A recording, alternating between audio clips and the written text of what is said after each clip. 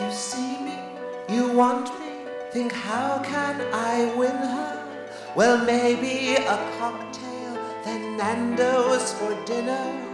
But just to make certain you're going to make me, do take me where any real playboy would take me. Ladies and gentlemen, please welcome Miss Pauline Calf.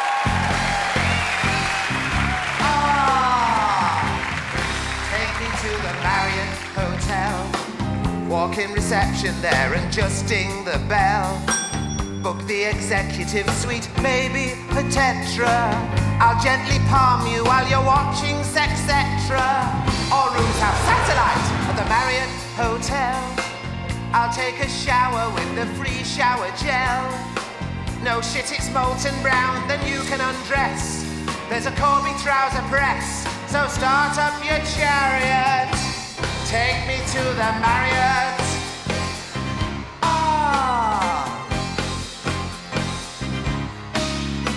Look, Kerry Katona, that bloke from the bill, and Simon Le Bon's at the bar. Gail Porter, Ray Stubbs chatting with Callum Best, and John Leslie chills by the spa. There's Cheryl and Ashley, I'd love to see their house. The regional manager of Carver Warehouse. They're all at the Marriott Hotel. Even the toilets have that potpourri smell. I'll don my terry robe and smolder like lava. They may chuck in a free half bottle of Cava. It's all quite decadent at the Marriott Hotel. When I first stepped inside, I thought, fucking hell. I shan't forget the time I shagged Simon Cowell, cause he nicked a king size towel. But what happens at the Marriott stays at the Marriott.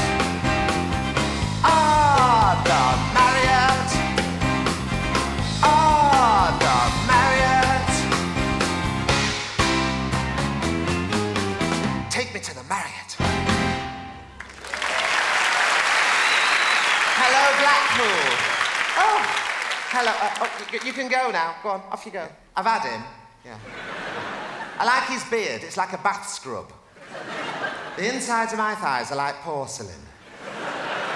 Now, do you know, I like singing that song, but um, what bothers me about it is um, my thong rides right up. Yeah. Honestly, it's so small you could floss your teeth with it. You won't want to, though. You would, though, wouldn't you? Hey? You dirty bastard. Look at him grinning. Hey, you were clapping a bit too vigorously there. You're supposed to take your hands out of your pockets. So, uh, and no looking down my top from up there, yeah? Actually, you might as well. They, uh, they cost me enough. Yeah, no, I had a boob job. It was a choice between a boob job and a brand new Zanussi washing machine. Yeah. Yeah, it was a choice between uh, twin tubs that could take a heavy load and a new washing machine. I don't know. But uh, do you like my dress? Yeah? Do you like it? Oh, yeah, I've had him. Yeah. He had a cock like a bookie's pencil. You should come round again sometime. I'll put on some proper music next time, like the Minute Waltz. or maybe we could do it in the kitchen, so I can tie my fucking egg. I don't know. No, but this is my dress. Uh, yes, it used to belong to Baby Spice, then it belonged to Charlotte Church, then me. Yeah. They took it in for Baby Spice, let it out for Charlotte Church, and uh, took it in again for me. Fuck off. Okay. Take four ordinary blokes you might find in any town or village. now, I'm not entirely certain these blokes were on drugs, but I think the odds of four sober men collectively deciding to go to the hairdressers then have a group photograph taken naked are minimal. Clearly, they're on ecstasy. Ecstasy makes you lose your inhibitions. Yeah, yeah. Inhibitions are there for a reason, people, to stop you doing shit like that. the three guys on the right totally fell off the radar. Um, but worst of all, the bloke at the top left tragically went on to become Engelbert Humperdinck. Tee hee hee. Okay, shock tactics. The Right Reverend Clement West. He gave a cracking sermon at Roger Daltrey's wedding. It went down a storm. It went down so well that one of the roadies gave him a gram of speed. And here he is six hours later. Completely chewed off his own jaw. it's some consolation that he does win the odd prize at fairgrounds. Although, interestingly, he never wins anything in the East Anglia region. Granddads. We all love granddads, eh? Crown Green bowling on a Sunday, post office every other day of the week. This hombre met Pete Doherty at a roundtable charity fundraiser. And here he is two weeks later. Completely went off the rails, left his wife of 64 years and moved in with his dealer, her. Don't be deceived by her looks. Don't be deceived by her looks. She was the most vicious, mean motherfucker you could ever know not to meet. She, she was very violent. I, I, was round at her house once with a mate of mine, and I was, you know, getting some stuff. And, um, and, and, and she was knitting a sweater, a polo neck sweater for her grandson, and it had quite a long neck. Right? And my mate just said, Oh, is your grandson a giraffe? And uh, she shot him in the face with a nail gun. she'd freak people out. She'd get them in a front room and she'd say, By the time I finish this Horlicks, Either you'll be dead or I'll be asleep. like most dealers, she never touched her own supply. Um, occasionally, she'd have half an E during songs of praise. That's my brother-in-law. He's a dick. Nothing to do with the lecture. I just like to show that picture. Okay, so drugs can make you do some pretty destructive things, right? And I don't mean waking up one morning in a skip wearing a nappy, a sombrero with lipstick around your nipples and an action man shoved up your ass. Because we've all done that. and people can also become addicted to porn. Yeah, sex phone chat lines, very addictive. I, I rang one of them, you know, because I was quite open-minded. This woman was on the other end of the phone, and she said, she said, what have you got on? I said, I've got the movie channel on. I'm watching The Elephant Man. It's a cracking film. She said, Well, I'm the kind of woman who likes a good length. I said, Well, you love the elephant man, it's over two hours long. she said, No, she said, I mean, I like a good length with a swollen, bulbous head. I said, Babes, you've got to check out the elephant man. It ticks all your boxes. Hello, good evening, and aha! Aha! Aha! Aha! Aha! Aha! Aha! Aha! Aha! Aha! Aha! Aha! Aha! Aha! Aha! Hey, you sick of it yet? I'm not. It doesn't bother me. Yes, good evening and welcome to Alan Partridge will rock you into forward solutions with whiskers. What happened to the thunder flash? That's supposed to blow up when I point at it like God. And then I was going to say Alan Partridge will rock you into forward solutions. What? Yes, yes, with whiskers. And I just start by thanking my uh, dance troupe, my cheerleaders, Hot and Pot, uh, collectively known as Hot Pot. There used to be three of them. They were known as Hot Pot and Red Cabbage. But um, due to the credit crunch, I had to let Red Cabbage go. There they are. Hello, girls. Getting changed. Oh, oh, saw your bra. they don't mind. Really? Okay, I'll go over here. Bras are interesting, aren't they? They used to be all uh, lift and separate. Now it's all squash them together. Make your minds up, girls. Oh, bras. I do not believe that was an accident. Okay, let's begin. Let me start by taking you back in time to late August. Um, I was sitting on the teak veranda of the Admiral's Cocktail Lounge in Bournemouth. Um, you won't know it, it's members only. As I was sitting there, sipping a cool glass of white wine, sandwiched between Monty Don and TV's Alastair Stewart from Police Camera Action. And I remember thinking to myself, Alan, you crazy mofo. It doesn't get much better than this. I remember uh, Monty was uh, refilling my glass with a, a crisp Australian white. Um, he's always got dirt under his fingernails, Monty Don. Um, I, I, don't mind, he's a gardener. You see, the same thing on the Pet Shop Boys, and it's a little bit unsavoury.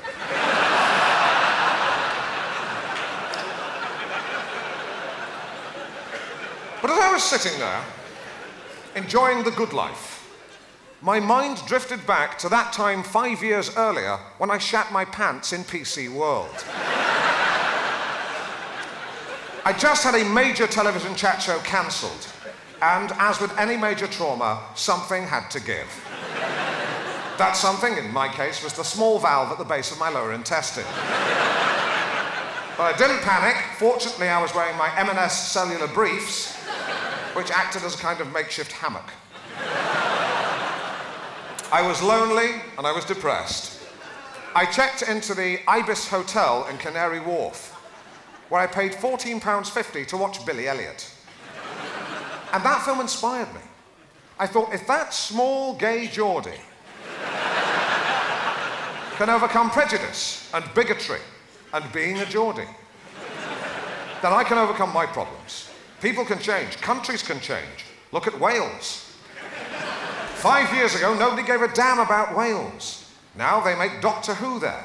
In fact, look inside a Dalek, you may well find a bitter X minor at the controls. Okay, let's, let's kick it up a gear. This is state of the art technology. It's an electronic gauntlet linked to a computer. I'm going manual. Okay. Um, it's a combination of an iPhone and a Wii, and it's called a YI. And, uh, and interestingly, it was developed in Newcastle um, by myself, Intel, and Jimmy Nail. I only wear the glove on the one hand, uh, a bit like Michael Jackson, uh, except my glove will not be used for evil. okay, let's, uh, let's start by having a bit of fun. If people were pies, who would have a positive filling? Let's take a look. That's right, it's Trevor Phillips, chairman of the Commission for Racial Equality. Trevor is a very positive person. I met him two years ago at the Pride of Britain Awards, uh, where he was winning an award for being uh, least racist person or something. and um, afterwards, after the ceremony, he'd, he'd, he'd, had a couple of drinks. And actually, I think I'll do this. Um, actually, that, that's a bit weird. Um, yeah, he, he'd had a couple of drinks. And Trevor made some pretty, pretty derogatory comments about the Welsh. And I said, hey, you, hey, Trevor, give that award back.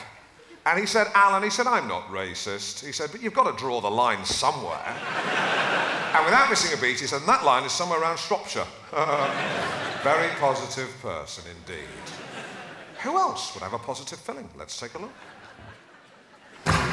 That's right, it's my very good friend, Norfolk based intensive farmer, Bernard Matthews. Bernard is a very positive guy. He gets a lot of flack from the pro chicken brigade. Um, unnecessarily so, because he really does have chicken's best interests at heart. Um, I was chatting with him about this the other week uh, at a cockfight in, in his front room.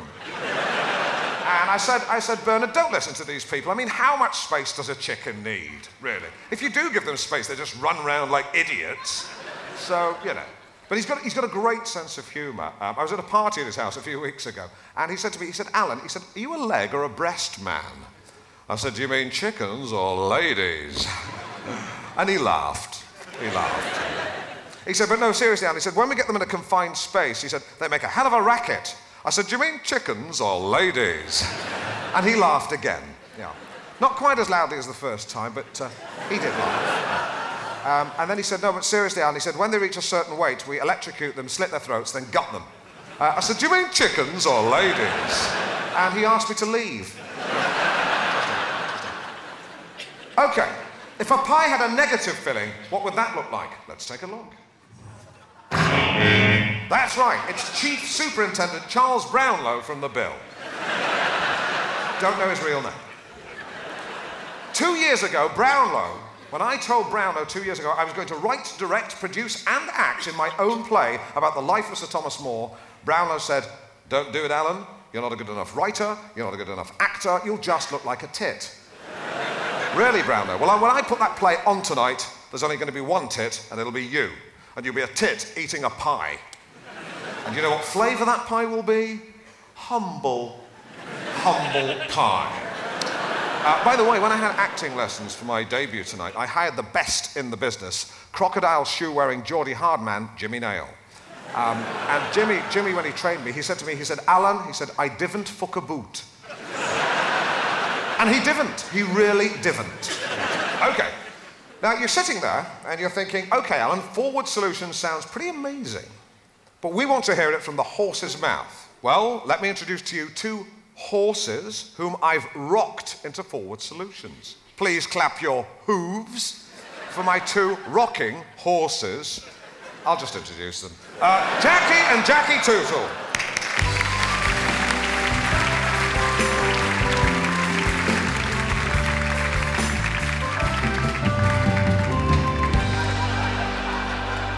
Now, now, Jackie and Jackie Tootle. A little bit confusing. Um, presumably, um, you, you're, you're Jacqueline and you're Jack. Um, no, we're actually both christened Jackie. That's hilarious. but to avoid confusion, uh, what I'd like to do is refer to you as woman and you man. Now, woman. Um, you were one of the first people to embark on my Forward Solutions program, weren't you? Yes, well, um, I realised that a lot of my problems stem from my childhood. Right. My mother was very critical of me as a child, and she used to tell me I was fat. Bitch.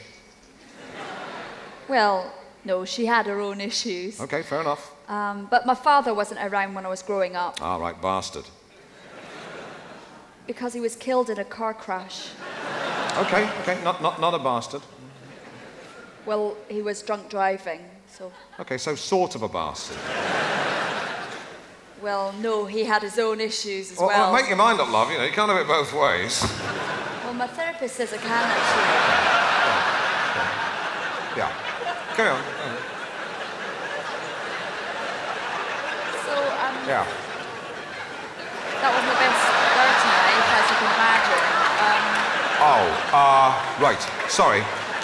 Uh, yeah, no, I, yeah, uh, sorry, I've just pressed a button here by mistake. Sorry, I'll just sort that. Keep, keep, keep going. So, Sorry about that, just sort this um, out. Yeah, so that yeah. wasn't the best start in life. Okay. And um, then I met Jackie, who's the love of my life. Yeah. And um, as well as us both being called Jackie, uh, we both actually have an allergy to dairy. Um, which is quite unusual, isn't it? Um, and you know, we have to avoid milk, Yeah. of course, and cheese and all sorts of lovely things, um, pizza, for example. But um, if we do have any milk, it does mean that we will get a bit of that rash, and um, at worst, it can actually make your face puff up and um, stops you from breathing. So we do really have to avoid any type of milk, and we have to limit our diet. Unfortunately, um, our little son George has a heart condition. It's a lot more severe for him. And he went to a children's party, as kids do. He, he did have some milk chocolate offered by another child, and um, he did actually have quite a severe allergic reaction. Formidable. And it put him in hospital, um, which was terrible for us. I mean, he did. It sounds amazing, it really does. Um, Ah, here comes my queen. ah, Catherine of Aragon. Yes. Most, most handsome woman. I think she has some hair on her top lip. Really? I've never noticed, honestly. No, I can feel it when I kiss her. It's almost as if she Don't has. say whiskers. I only have eyes for Anne Boleyn. She has me spellbound. But the king is married and the church will not allow a divorce. Silence, Sir Thomas. She comes hither.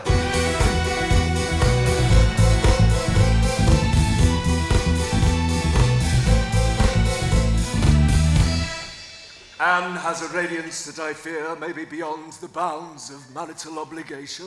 Aye, she is fucking gorgeous, I'll give you that. But to matters constitutional.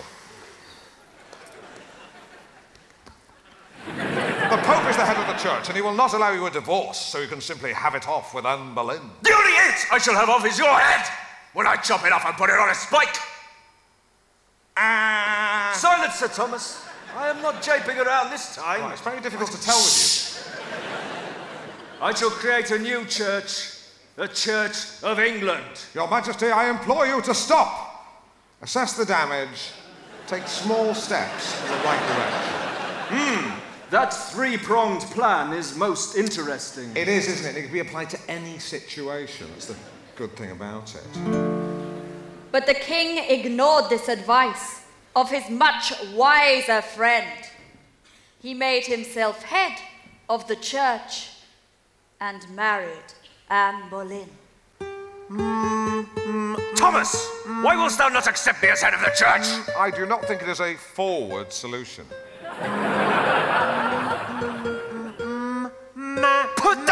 Bloody lute! Right, well, I'm just tuning it up. Chillax. Why do you defy me? I do not think His Majesty is thinking with his royal head, but rather with his regal Thomas. cock. Thomas! And you're not the head of the church. Thomas! You've been a dear and trusted friend, but I will not stand for this treason! I have a message from the Pope. Lay it upon my table. Christ.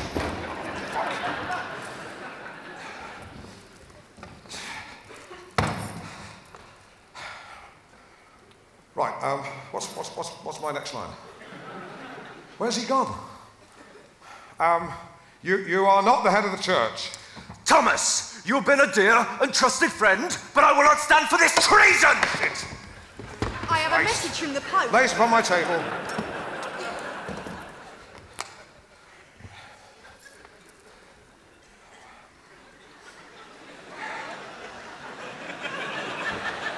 Um, you're not the head of the church. Thomas, you've been a dear and trusted friend, but I will not stand for this treason! I have a message from the Pope. Lay it upon my table. That's the last one. Right, we're stuck in a loop. Um, uh, um, um, your, uh, your, your Majesty, we, we spoke of this matter at great length. Where did we have such a conversation? I cannot recall. Why? At Hampton Court in the car park? No, the gift shop. No, the, the, the, the maid. Thomas! Stop jabbering! Oh, sorry, sorry. I see you are thinking of asking me not to condemn you to death. Cheers. Please don't condemn me to death. Silence! I condemn you to death! Oh, I'll leave that there. right, shall I just go to the Tower of London? Yes, that's okay. Good morrow, Your Majesty. I'll just put my hat on. Ah, yeah. Take him to the tower! Unhand me! I'm Roger Moore. Oh, shit, I've done it again.